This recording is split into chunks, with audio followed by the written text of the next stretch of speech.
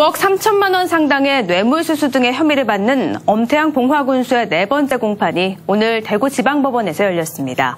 오늘 재판에선 엄태양 봉화군수 가족 소유의 태양광 발전소 건설에 참여한 업체 관계자 2명이 증인으로 출석해 공사 대금을 면제하는 방식으로 엄군수에게 뇌물을 제공한 의혹을 신문받았습니다. 엄군수 변호인은 태양광 발전소 계약서에 적힌 공사 대금은 실제보다 부풀린 형식적 계약서고 대금을 면제해 뇌 물을 수수했다는 공소 사실을 인정하지 않았습니다.